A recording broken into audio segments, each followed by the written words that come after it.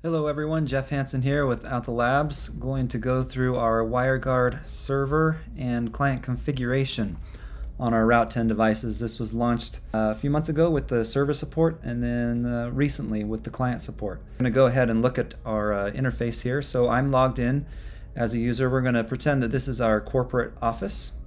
Um, so I've got a Route 10 and a couple of APs here. Uh, there are a couple of prerequisites before you set up uh, a VPN. Really, any VPN is kind of similar. Uh, you need to make sure that the subnets don't conflict with each other. So you can see here at our corporate office site, we've just got a single uh, subnet, real simple, 1.1.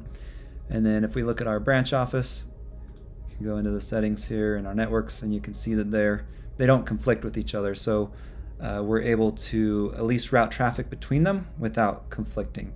The other thing is uh, you do have to select a VPN uh, subnet that you'll use for the WireGuard VPN server.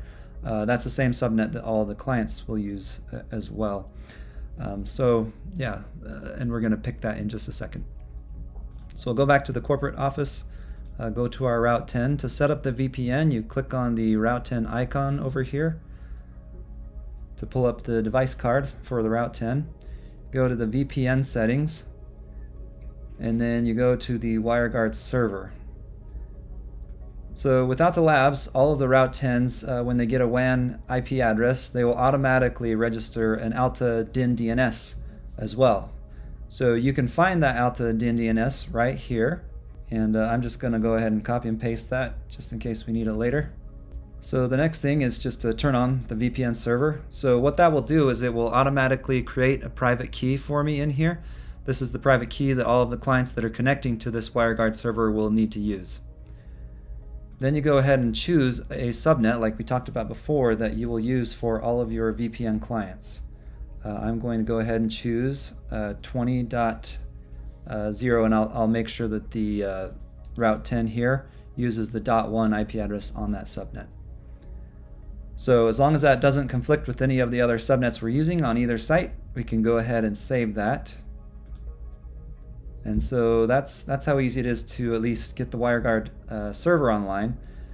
Now we need to create a client um, or a, a, user that will actually connect to the WireGuard server. So you don't have to enable this feature right here. You, you go to the auth ta tab on the Route 10 card, uh, but you don't actually need to enable the Radius server because WireGuard doesn't use Radius. If you're using uh, Wi-Fi or L2TP or IPsec authentication, that do use the Radius server, you would want to turn that on. But in our case, if we're just doing WireGuard, you don't actually need it. So we're going to call our, you give each client a name, and this is handy just in case, you know, if you have a whole bunch of clients, you can actually revoke their credentials uh, very easily. And uh, it's not just WireGuard specific. Since this is also tied to the Radius server, you can add and remove users and have all their credentials in one place per person instead of having them you know in, in several different places it's all consolidated into a single user interface right here.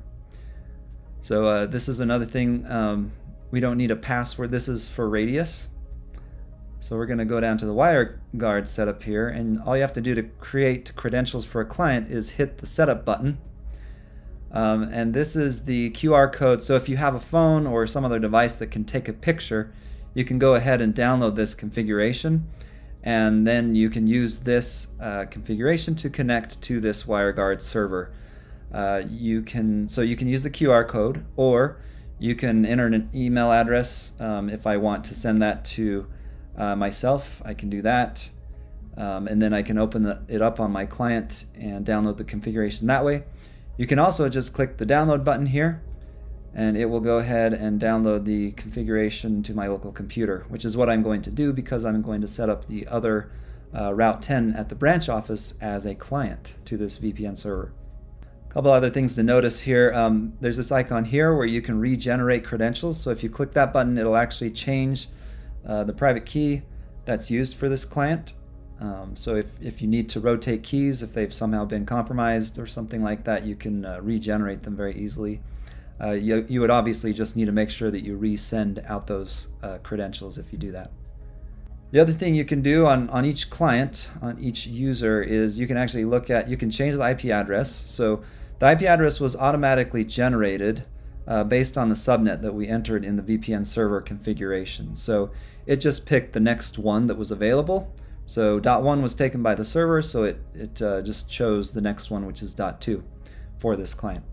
Uh, you can also look and manually edit and change the private key and the PSK that are used for this specific client, which is handy in case you need to migrate a client from you know some other VPN server into this one. Um, it makes it very easy to do that. Last thing you need to make sure that you do is save that. And uh, th that way the configuration is now pushed to this Corp Office Route 10. And uh, any clients that connect, they can now uh, connect using that configuration. So yeah, I mean, there's a lot of different clients that you can use. You can use mobile phones, uh, laptops, desktops. Uh, the WireGuard client is available on, on almost anything. Um, and you can use the configuration that we've generated, downloaded. You can take a screenshot of the QR code to connect to this server. Now, uh, we're going to actually use the WireGuard client that's also built into the Route 10 uh, devices on this branch office site. Uh, so to do that, you once again, you go into the VPN configuration of the Route 10. So you'll click on the Route 10's icon here, go to its VPN configuration, and you'll see we can also enable a, an IPsec server and uh, WireGuard server on this Route 10. In this case, though, we want this to be a client to the WireGuard server that we created before. So it pulls up the WireGuard client, client configuration and we're just going to go ahead and give this a name for the client. I'm going to, you can actually download the file and we're going to go to downloads and go to our configuration file that we downloaded and it automatically imports uh, the configuration that was generated from the server. So this is the same thing as like taking a picture of the QR code uh, it imports all that information into the client configuration just like that. So even including the 20.2 IP address that was assigned to us is all there. The only thing you do need to change is uh, what subnets you want to have routed over this connection. So I happen to know that there's a 1.0 so subnet that's available on the corporate, uh, you know, the upstream Route 10 device. So I'm going to route anything that's destined for 1.0 over this WireGuard connection and then you hit save.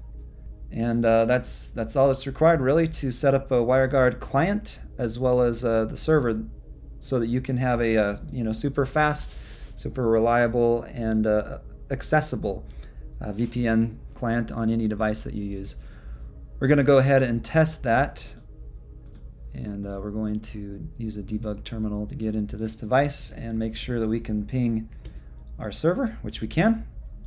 We can also ping other devices uh, that are behind that corporate server, so it's all working. And then, um, yeah, you can set up firewall rules and, and different things like that to set up policies. And if you want to block traffic, allow traffic uh, between the different devices, uh, between the VPN, you can set up that as well. So yeah, we're really excited about this feature. Excited for everybody to try it out and uh, let us know your feedback.